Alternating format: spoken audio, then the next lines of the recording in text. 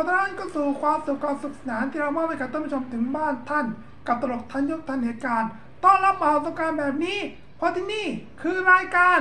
ก็มาดีครับ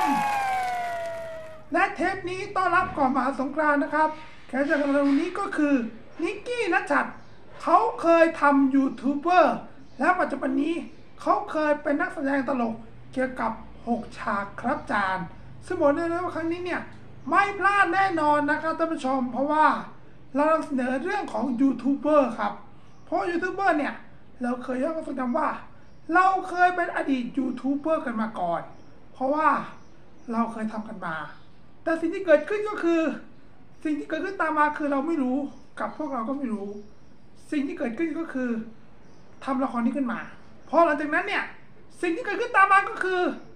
มันก็เป็นสิ่งที่รู้ว่า อะไรมันจะเกิดขึ้นกันนะ แต่ที่รู้ไปก็คือไม่ใช่เรื่องยากครับ ที่พอทำไปมันก็ได้เงิน มันก็ได้เงินมหาศาหรอกท่านผู้ชม แต่ก็ได้ขึ้นมาเนี่ยเอาหากระจายกันไปข้างหนึ่งที่เหลือไปหมด ที่เหลือไปหมดครับท่านผู้ชมเพราะว่าลากออกมานี่ ไม่รู้ว่าแกเกินเกินแบบนี้หรือเปล่านะฮะท่านผู้ชม เพราะสิ่งที่ว่าเนี่ยคือความสุขต้อนรับมหาสงกรานต์ซึ่งอีกอย่างหนึ่งก็ต้องไปอีกอย่างพออีกอย่าง นี่ก็ต้องมาที่เกิดขึ้นของรายการกรรมธิการของการเจอของเรา นิกกี้นัชชัดนะครับ พบกันใหม่นะครับ วันคืนวันอังคารหน้านะครับ ทางช่องสามวันนี้ลาทุกคนก่อน สวัสดีครับ